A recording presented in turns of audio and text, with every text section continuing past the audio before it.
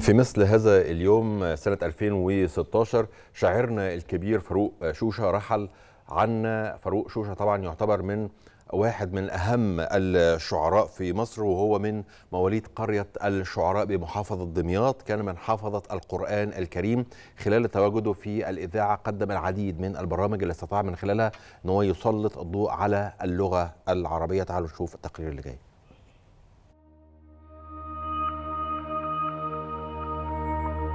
رأيت القلب لا يأتي بغيضا ويؤثر بالزيارة من أحب.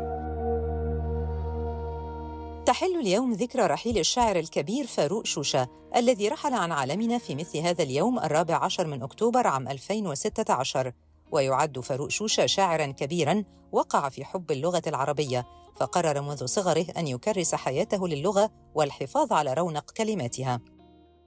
ولد فاروق شوشة يوم السابع عشر من فبراير بقرية الشعراء بمحافظة دمياط وعاش منذ نعومة أظافره على حفظ القرآن مما جعله يتقن اللغة بشكل صحيح. ولمواصلة الحب بينه وبين اللغة العربية دخل كلية دار العلوم ولم يكتفي بذلك بل التحق بكلية التربية جامعة عين شمس وتخرج من الأولى عام 1956 ومن الثانية عام 1957 كم يتشكل دوما في دائرة العين ولكن لا يتبدل ابدا في دائرة القلب.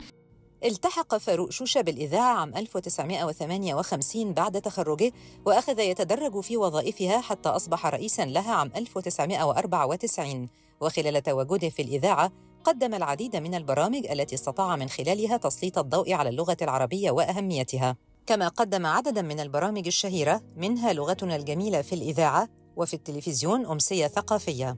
إلى أي درجة ترين أنها مفيدة في انعكاساتها على دراسة الأدب القومي وخدمة واقع هذا الأدب القومي؟